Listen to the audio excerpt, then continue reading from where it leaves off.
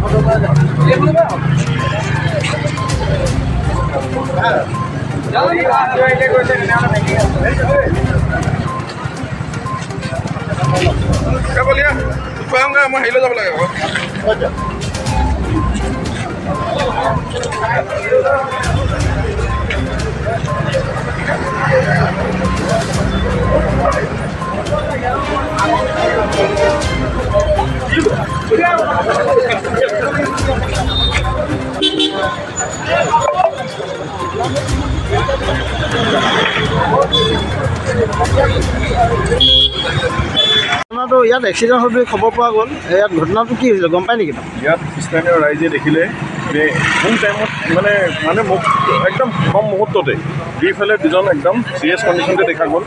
ৰাস্তা ইটো ফালে যিজন আছে ট্ৰেক্টৰ চালক হৈ নেকি সেইখন ট্ৰেক্টৰখন আপুনি দেখিছে। সেই ট্ৰেক্টৰ চালকে বহুত বেছিকৈ আঘাতপ্ৰাপ্ত হৈছে। ইয়াৰ যিজন যুৱক যুৱক বুলিয়ে কৈছোঁ কিছুমানে চিনি পাইছে যে জপৰাগৰ হৈ গ'ল। তেওঁ বহুত আঘাতপ্ৰাপ্ত হৈছে তৎকালীনভাৱে ইয়াৰ স্থানীয় ৰাইজে উঠাই মেলি এখন এম্বুলেঞ্চত মাতি মেলি আমি এম চিলে এতিয়া বৰ্তমান আমি পঠালোঁ। তেওঁলোকৰ কোনোবা পৰিয়ালবৰ্গ গৈছে। খালি সেই ট্ৰেক্টৰ চালক হয় নেকি তেওঁ মানে কোন ক'ৰ হয় দিশত আমি ধৰিব পৰা নাই এতিয়া। বহুত বেলেগ ধৰণৰ আঘাতপ্ৰাপ্ত হৈছে। আৰু যুৱককেইজন ক'ৰ আছিলে গম পাইছে নেকি ইয়াৰ এজন জপৰা গাঁও বুলি কৈছে আৰু আনজন ক'ৰ হয় ধৰিব পৰা নাই। একদম বিশেষকৈ মুখ- মুখত ওপৰত বেলেগ ধৰণৰ দুপাইছে বহুত বেছিকৈ দুপাইছে।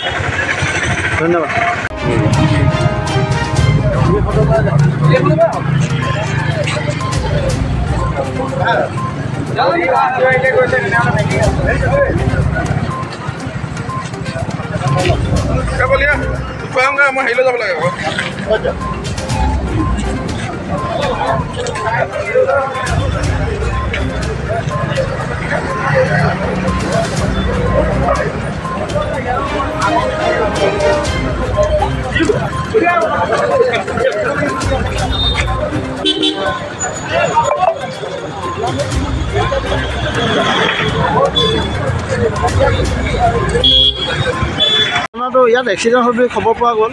ইয়াত ঘটনাটো কি হৈছিলে গম পায় নেকি? ইয়াত স্থানীয় ৰাইজে দেখিলে যে কোন টাইমত মানে মানে মোক একদম কম মুহূৰ্ততে দুইফালে দুজন একদম চিৰিয়াছ কণ্ডিশ্যনতে দেখা গ'ল। ৰাস্তা ইটো ফালে যিজন আছে ট্ৰেক্টৰ চালক হৈ নেকি সেইখন ট্ৰেক্টৰখন আপুনি দেখিছে। সেই ট্ৰেক্টৰ চালকে বহুত বেছিকৈ আঘাতপ্ৰাপ্ত হৈছে। ইয়াৰ যিজন যুৱক যুৱক বুলিয়ে কৈছোঁ কিছুমানে চিনি পাইছে যে জপৰাগৰ হৈ গ'ল। তেওঁ বহুত আঘাতপ্ৰাপ্ত হৈছে তৎকালীনভাৱে ইয়াৰ স্থানীয় ৰাইজে উঠাই মেলি এখন এম্বুলেঞ্চত মাতি মেলি আমি এম চিলে এতিয়া বৰ্তমান আমি পঠালোঁ। তেওঁলোকৰ কোনোবা পৰিয়ালবৰ্গ গৈছে। খালি সেই ট্ৰেক্টৰ চালক হয় নেকি তেওঁ মানে কোন ক'ৰ হয় দিশত আমি ধৰিব পৰা নাই এতিয়া। বহুত বেলেগ ধৰণৰ আঘাতপ্ৰাপ্ত হৈছে। আৰু যুৱককেইজন ক'ৰ আছিলে গম পাইছে নেকি ইয়াৰ এজন জপৰা গাঁও বুলি কৈছে। আৰু আনজন ক'ৰ ধৰিব পৰা নাই। একদম বিশেষকৈ মুখ- মুখত ওপৰত বেলেগ ধৰণৰ দুপাইছে বহুত বেছিকৈ দুপাইছে ধন্যবাদ।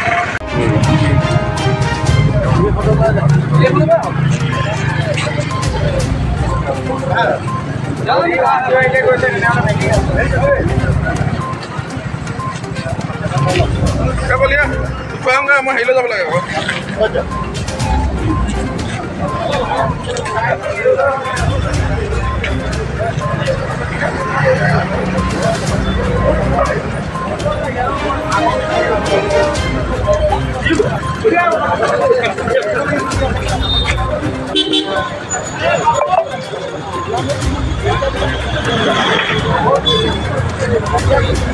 ধন্যবাদ